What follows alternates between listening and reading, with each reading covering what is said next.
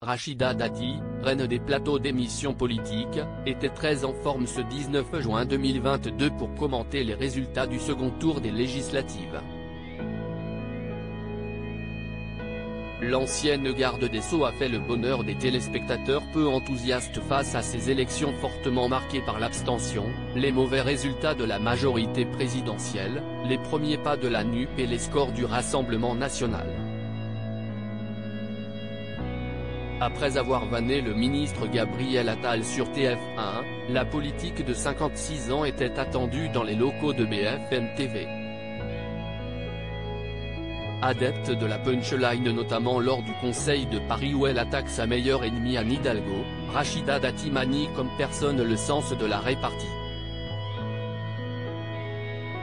Franche et passionnée, elle est remarquée pour sa sincérité comme sa loyauté avec sa famille LR malgré la débâcle des présidentielles et le score catastrophique de Valérie Pécresse, 4,75%. Sur BFM TV, elle n'est pas restée dans son coin malgré le nombre important d'intervenants au cours de la soirée co-animée par Maxime Souitek et Apolline de Malherbe. Avec sa phrase choc ça va être la fête au village, elle en a marqué plus d'un mais ce n'est pas tout. La députée Lrem Yael Braun-Pivet, réélue dans les Yvelines, a subi une Rachida Dati plus enflammée que jamais. Assises l'une à côté de l'autre, les deux femmes n'avaient manifestement pas assez d'espace pour s'exprimer. Dans un premier temps, Rachida Dati a été surprise de voir sa rivale de la majorité râler juste à côté d'elle alors qu'elle s'exprimait sur la nouvelle configuration de l'Assemblée nationale qu'elle décrit comme ingouvernable, « Je ne vous montre pas vous, n'ayez pas peur ».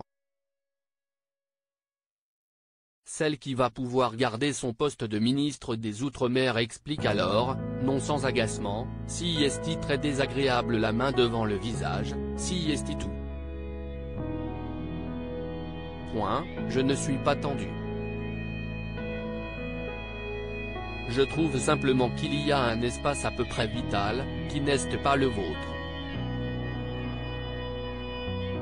Donc chacun de son côté. Mais le mot de la fin sera pas pour l'ex-ministre de la Justice de Nicolas Sarkozy. Avec les gens comme vous, on ne se mélange pas, dit-elle. Je ne vois pas le rapport, rétorque sa voisine. Si, si est exactement ce que vous venez de sous-entendre, conclut la célèbre maman de Sora, 13 ans.